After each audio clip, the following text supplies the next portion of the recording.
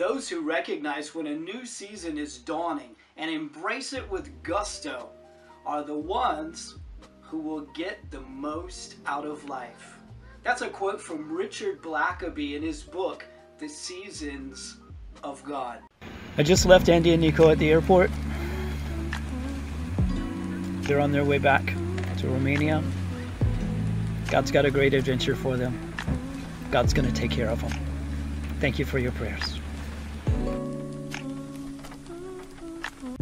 I don't know about you, but my life has already entered a new season, and I love what God is doing.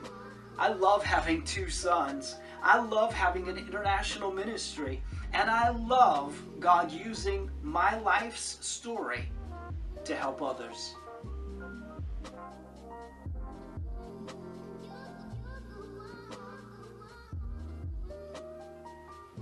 Yes, a few days ago I said goodbye to Andy and Nico for a while.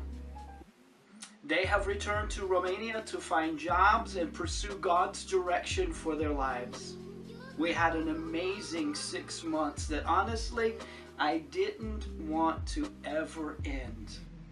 But those who recognize when a new season is dawning and embrace it with gusto are the ones who will get the most out of life. Please pray for our family.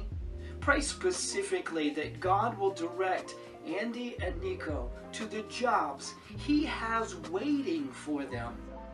And pray for me that God will give my heart peace as I trust in Him. You know, having your family spread across continents isn't very comforting. So I've rearranged the furniture here in the house, and I'm looking toward the future with great expectation of what God is already doing.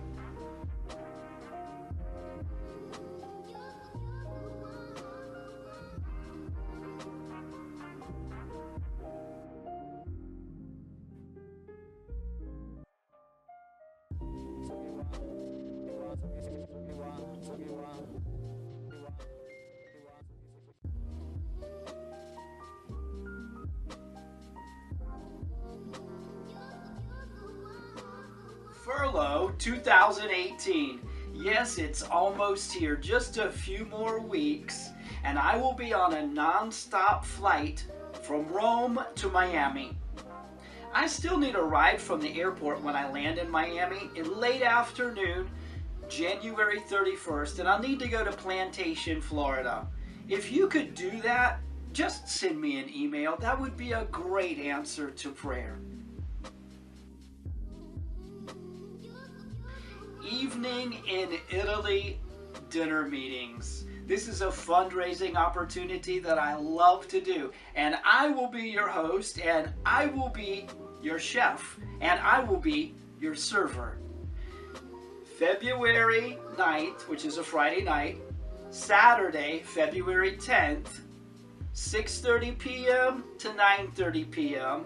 I'll be hosting 6 to 10 people. This space is limited, so make your RSVP reservations today. I've already got some reservations for both nights, so please, I don't want anyone to miss out. There is a suggested donation of $100 and online at missionroma.com you can make that reservation or you can bring it the evening of the event. But I need to know that you're coming. So please email me now, missionroma at live.com. Speaking opportunities are starting to materialize and the furlough calendar is coming together. If your church, your small group, young adults group, or even business would be interested in Justin's story or the vision of Mission Roma, please message me. 12 for 50. God gave me the idea taken from the life of the 12 apostles, 12 men God used to change the world with His message. In fact, you and I are born again today because of the faithfulness of those 12 men 2,000 years ago. 12 people pledging $50 monthly will greatly change the city of Rome. Mission Roma has been here in Rome for 10 years, and we have plans of continuing this ministry until the Lord Jesus Christ returns. As seasons change, people feel led to devote their support in other directions. And at the beginning of the new year, starting with a fresh slate and looking ahead to what God has called Mission Roma here in Rome to do, I would simply ask you to pray and consider what God has called you to do. If it would be to partner with Mission Roma for this year, praise God. But somehow be involved with what God is doing globally until His return, which will be very, very soon. God bless you.